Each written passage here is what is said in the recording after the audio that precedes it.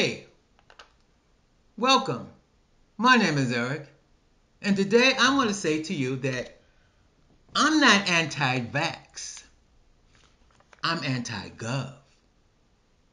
Welcome to the craziness that lives inside my head.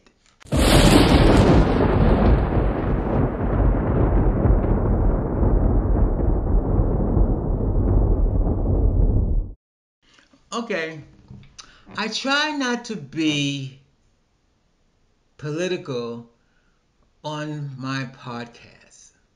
Okay? I try to be me. So whatever I say, I am not politically correct. And I don't know what's the other word. I'm, uh, uh if anything, I'm very unpolitically correct. But the thing is, I did get annoyed with this vaccination thing. I mean, if you want to get vaccinated, fine. I don't care. I mean, that is your that is your right. That is, in my opinion, that is your right. Now, I will say this because they always say, "Well, those the vaccinated, uh, the unvaccinated people are the ones causing all these variants." And for as I'm concerned, that's bullshit. But anyway, it's your body, but we all have to take responsibility if I know, and I, I know it's a hard thing to say, if I don't get vaccinated and I would have come down with COVID or any kind of disease, it's my then whatever happens to me, I have to own up to it. That's all I'm saying. Because the government, I guess, made it possible possible for me to protect myself. I guess. I'm always saying I'm guess. But I am anti gov when it comes to pushing people to do things against their will. Now, come being a black African American, now my ancestors know all about government pushing them to, you know, doing what they don't want to do. And that's that's the problem that I have. Um, and and for the government, instead of being transparent about what's going on with this COVID thing, um, they fear mongering. You know, in 2020, there were so many uh, reports about how many people died from COVID, providing it's from COVID.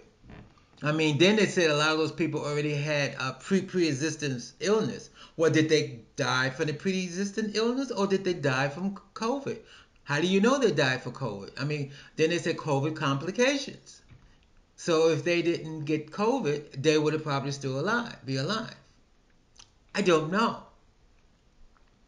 I just I don't know. Like I said before, if those if if I don't if, if somebody wants to be vaccinated, let them be vaccinated. If somebody don't want to be vaccinated, then that's their choice. But don't don't make them the scapegoat of what's going on. I might have made a podcast about this before. I'm not sure. But I'm going to be honest with you. I am not anti vax, but I am surely anti gov. Because government, you don't know what the government is doing behind closed doors. That's that, that's that saying, I put this on Facebook money talks, bullshit walks. And, and a lot people uh, I have a friend who would say to me, Do you know how many politicians became rich after they got into office? No, I don't. Maybe somebody should do a study on it. They do a study on everything else. Maybe somebody should. List, how much taxes do uh, politicians pay? Do they pay taxes? They should. I pay taxes. Do they pay the, the amount, the same amount of tax as a private citizen would would pay, making that the whatever money they're making? I don't know. They need to do a study on it. They did a study on everything else. I don't know. All I know is I do not like, and a lot of people, I'm not alone, a lot of people probably do not like our government telling us what to do when we don't know what's going on in the background and they're not being transparent about. And first of all, because lately, uh, didn't these uh, pharmaceutical companies making all this money on this vaccine? And who's paying for it? I'm paying for it. I'm not even taking the vaccine and I'm paying for it. Why? because it's the taxes, and then our taxes go up, and inflation go up. And I keep thinking, now I'm not a conspiracy person, but it seems to me that this COVID thing did one thing they did it did do. It made some people poor and it kept everybody at the same plane. Nobody got ahead. Well, the only people got ahead of obviously was the rich people. But if you was in middle class on the way, you know, and below, either you you lost your place on the scale of wealth or you became or you just stayed the same. That's why I'm anti-gov.